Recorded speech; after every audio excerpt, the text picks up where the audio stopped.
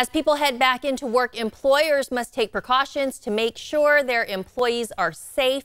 Jonathan Bell is an employment attorney, small business expert, and founder of Bell Law Group. And he's here to tell us how businesses are transitioning. Welcome, Jonathan.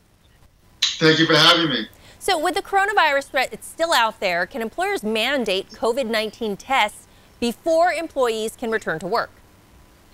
Well, the short answer is yes. Uh, the EEOC, the Equal Employment Opportunity Commission, actually just updated its guidance on April 23rd, explaining that employers may now screen for COVID 19. And the reason they made that decision is because the virus will pose a direct threat to the health of others. That's the threshold you have to meet to look for the exception to the ADA, the Americans with Disabilities Act. Now understand that the test provided must actually test for an active virus. So you can't test for antibodies because just knowing somebody had it in the past will not pose a direct threat to the health of others. So you got to uh, test for an active virus.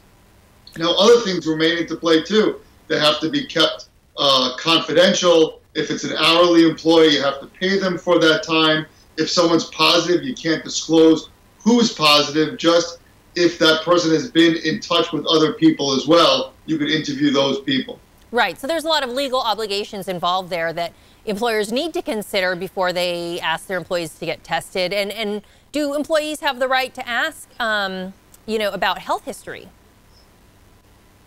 Uh, not health history. That would violate the Americans with Disabilities Act. So just active testing for the virus. You could do a, a test for fever um, uh, which, like I said in the past, wasn't allowed. It just rises to that threshold. So you got to be careful with the types of question you ask to make sure you don't go too far, or else you're going to open yourself up to a lawsuit. Right. It's, it's definitely a de delicate situation. So, what steps should businesses take when they're starting to bring their employees back?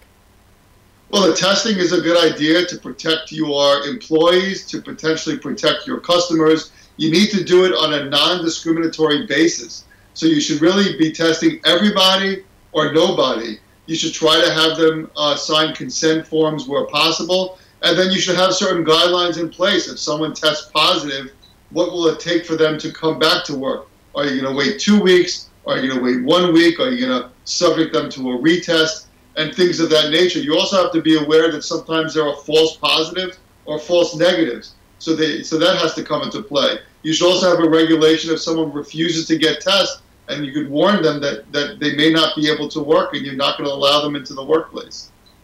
And what do you think the workplace is going to look like when people return to the office? I think it depends on the business. If you could get away with having part of your staff work home at times, I think it's a good idea to do that, uh, at least preliminarily, until the vaccine comes out. You could see, you know, how this virus responds to the summer and therefore the fall. Uh, if that's not a possibility, you have to engage social distancing. You might have to change the dynamics of the workplace by inserting plexiglass, uh, requiring employees and customers to wear masks. I mean, that's, that's a no-brainer. That should absolutely be a requirement in every uh, work situation. All right, Jonathan Bell, employment attorney, we appreciate you joining us this morning. Thank you for having me. This interview involves commercial content. The products and services featured appear as paid advertising.